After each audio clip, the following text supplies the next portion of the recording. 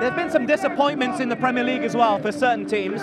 Manchester United is one, although they might win the FA Cup next weekend, so we'll talk about them later. What about Newcastle? Because they are this season a Champions League club, maybe ahead of schedule, but they had a raft of injuries, just beset by problems almost from day one. It's, it's interesting the injury situation. Uh, a lot of the clubs at the moment. Arsenal didn't have that many. Just to Timber Yeah. was the main one. Yeah, yeah. But there's been clubs that have been really suffering uh, for, from injuries. Um, yeah, I think Newcastle, and this is a little bit of credit to Mike Ashley actually, because he had it well run and kept his kept his hands in his pockets, if you like. That's enabled Newcastle to go out and do what they're doing, and they're doing it right. And I think I think the owners there are saying.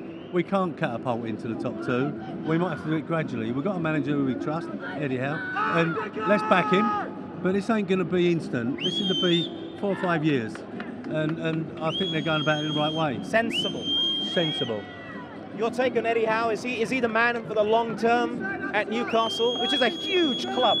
Yeah, I think so. Um, I've played against Eddie's teams and they're so organised and he runs a tight ship. And I think he's the right man to do that. Um, Newcastle, massive club and Champions League, like you said. They Was did it- have Champions League. Yeah, was it a fluke season? Was it a bit of excitement, everyone coming in? But now I think Eddie's back to basics and he'll, he'll get the boys back up the Do you think they can keep their players as well? Because Isak's name has actually been mentioned to come here to Arsenal, and they do have Champions League football.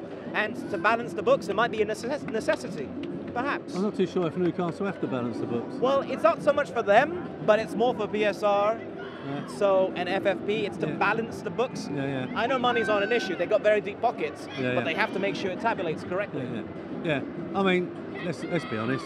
Apart from perhaps the top three, every club's under a little bit of pressure financially to to make sure. It's, I heard there's, there's, I heard Wolves have got to have a fire sale. You know, Wolves, who, in all fairness, bottom half of the table, and they've got to have a fire sale. So yeah, it's, it's very difficult living up to these uh, uh, fair play rules or financial fair play rules. Um, but if that's the case, then then and Newcastle have to sell, then they'll have to sell. It's that profit and sustainability rules, the PSR that they have here. It's still very quite loud. I hope you can hear me clearly. But what about someone like Alexander Isak? Can you imagine him here? Because he has been so impressive when he's fit. Yeah, he's an out and out striker. He runs the channels, he comes to feet. He's been good this year. Is he someone you would like to see play for Arsenal? Yeah, I could see I could see him fitting in. I could see him fitting in, but I think Arsenal will go and get probably someone with, with a bit more about not about them, but like established. Really? Yeah. But he's done it in the Premier League. He scored Yes. again today. Yeah, I know, but I think Arsenal will look outside the box. What about yourself? I mean, I don't know how much of Alexander Isak you've watched, but Well, no, no, I've said it. And the thing I like about him is that he goes in behind defenders, and that pace is frightening. So, you know, as the game wears on, them centre halves drop a little bit deeper, and you're allowed to go into feet. But um, they're comparing him at times. Not me, but some Newcastle fans saying a bit like Thierry Henry. there's only one. There is only one. Is But no, one. no, quite. You know, that's great. I don't think they should be shouting too loud, no, them Newcastle fans, because something might happen. No, no, I think it's interesting, and, and you'll have to ask the Mikel, you know, the philosophy here.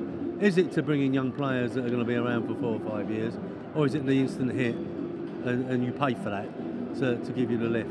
So it'd be interesting to see how they go about it in the summer, because over the last two or three years, it's been young players, young players, young players. But is it time now to go bang? How do you balance that? How do you balance the experience versus buying for the future, buying young? Well, I think because they've done it, because they've bought so many young players, they can afford to go the other way. And uh, you know, be interested. It'd be interesting to see what they do in the summer. What do you want? Instant hit, someone established, or more? I'd like, I'd like that guy to stop whistling, to be yeah, honest. he's very, very loud. Uh, yeah. No, I'd like to see an instant hit. Arsenal, they've built the youngsters, they've had the couple a few years together now. I think they're just missing that one key. Like Tony said earlier, that one key striker, out and out striker that's going to score you 20 goals a season. All right.